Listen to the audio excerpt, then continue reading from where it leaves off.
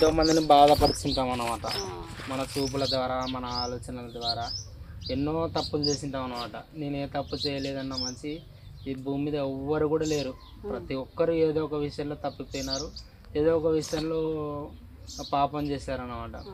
ఈ పాపం వలన ఏమవుతుందంటే దేవుని యొక్క వాక్యం ఏం చెప్తుందంటే పాపం వలన వచ్చే జీతం మరణము నిత్య నరకము ఉంటుంది మరణించిన తర్వాత మన శరీరం ఏమవుతుందంటే మట్టిలో కలిసిపోతుంది మన్న అయిపోతుంది కానీ మనలో ఉన్న ఆత్మకు చావు లేదనమాట ఈ భూమి మీద మనం చేసిన మంచి చెడ్డలను బట్టి తీర్పు జరుగుతుంది. అక్కడ నరకానికి వెళ్ళినట్టయితే అక్కడ అగ్ని ఆరదు పురుగు చావదు అనమాట యుగ యుగాలు నరకంలో శిక్ష అనుభవించాలన్నమాట. దేవాతి దేవుడు మనల్ని ఊపిరి ఆగాక దేవునికి లెక్క చెప్పాలి. నా మటుకైతే బ్రతుకుట క్రీస్తే చావైతే మరి ఎంతో లాభము. నా మటుకైతే బ్రతుకుట క్రీస్తే చావైతే మరి ఎంతో లాభము.